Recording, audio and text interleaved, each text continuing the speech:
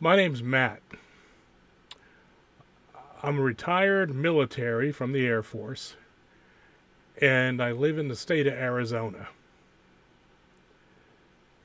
And today, Title 42 expired, which means that our border is going to be flooded with people we have no idea who the hell they are. We don't know where they're coming from. We don't know where they're going. We don't know anything about them.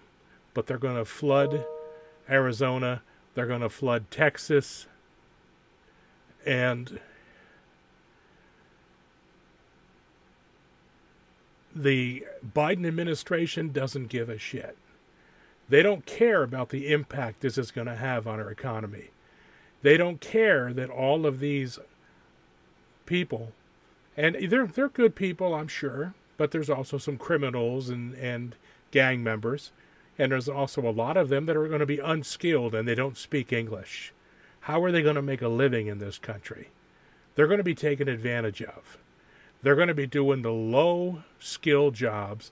They're going to be making getting paid under the table with less than minimum wage and they're going to be taking a job away from an American citizen. Perhaps somebody who's in high school and needs to make some part time money, save money for college. Perhaps it's a college student trying to get a job so that they can pay for college and better their life. But the Biden administration doesn't give a shit about American citizens. All they want to do is flood the country with illegal aliens and then push to get them citizenship because this is their new Democrat voters.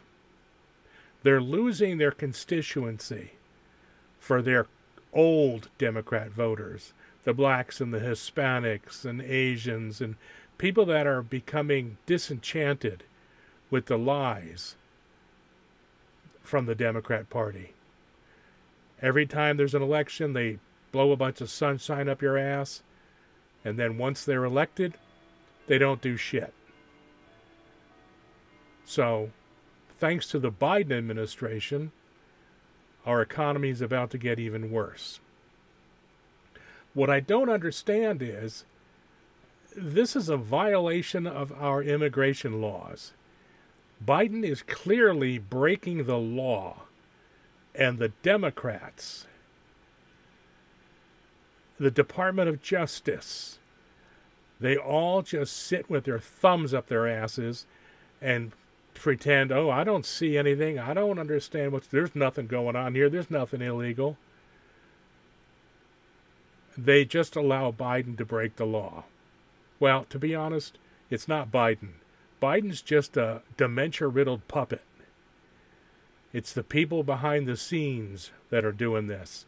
It's the Democrats in power that hate America and want to turn us into a third world country for the UN's 2030 charter. Everything that's good about America, the Democrats says is bad. And the media, they're lapdogs. They keep putting out the same lies over and over again. They tell people the country is systemically racist oh, the cops are just out there waiting to kill black people and his and brown people. It's not true. We know it's not true. But the people that watch MSNBC and CNN and NBC and, and all of the other media that they get on their smartphone or whatever, they don't understand it's not true. That's what they're being told, so they think it is true. They go to school, they get educated in the progressive left mantra, and then they're let loose on the world.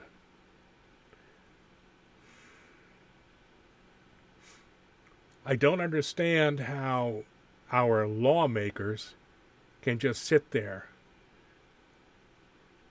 and allow this Biden administration to so boldly break the law and destroy this country. They're in it for themselves. Remember, folks, they work for us. We elected them. We pay them. They are our employees.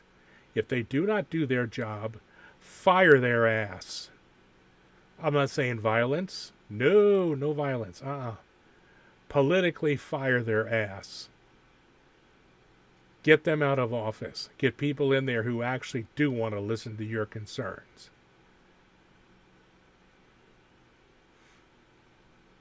I'm a Trump supporter. I'm a DeSantis supporter.